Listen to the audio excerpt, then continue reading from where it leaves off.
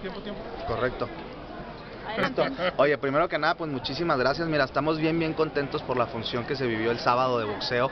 La verdad, un gimnasio a reventar. Sí tuvimos un, un desacuerdo ahí con promotora del pueblo. Estamos hablando con, con los jurídicos de años y con los dueños porque les voy a hacer llegar una imagen ahí de unos boletos que regalaron más que nada el viernes en el juego de Centauros, el viernes por la noche. Entonces sí fueron más de mil cortesías las que ellos sin autorización de nosotros eh, pues regalaron a la gente y la gente obviamente con el afán de ir a ver el gran espectáculo deportivo eh, pues se quedó fuera porque nosotros atendiendo las leyes eh, de civilidad de protección civil tuvimos que cerrar el, el gimnasio para que no sucediera ahora sí que algún accidente. Obviamente se afectó también a gente y eso sí pedirles disculpas que compró su boleto y que se quedó afuera por eso por esa ley de protección civil. Entonces todo el día de ayer y todo el día de hoy en las oficinas de Don Boletón que están ahí en en Ortiz Mena, pueden ir a recoger su dinero y a regresarle su dinero y le pedí eh, a don Boletón que me hiciera llegar ahora sí que la base de datos de las personas, pues para personalmente disculparnos por, por, pues, por, ese exabrupto y por ese error.